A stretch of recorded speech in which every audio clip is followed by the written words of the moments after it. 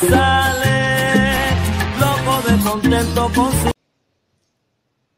الفرص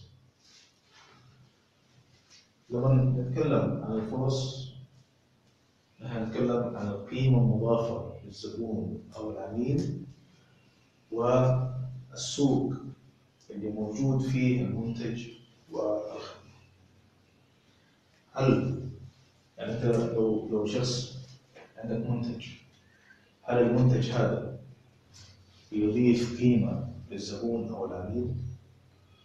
أو تحديدا الزبون لأنه هنتكلم عن منتج الآن. والمنتج هذا فين هو موجود؟ في أي سوق؟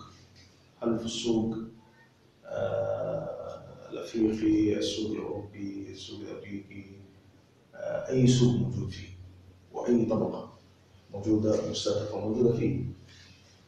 إذا كنت شخص مقدم خدمة انت موجود في أي سوق وايش القيمه المضافه اللي هتضيفها للعميل هذه هي الركائز الأساسية. طبعا تختلف الفرص من مكان لمكان من صناعة لصناعة ومن آه، شريحة لشريحة لكن ما في ما في شيء محدد.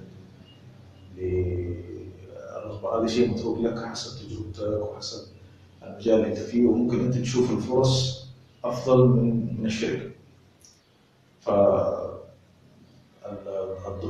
وما في مسلمات يعني ممكن تتغير الظروف في أي وقت تمام فالفرص ما لها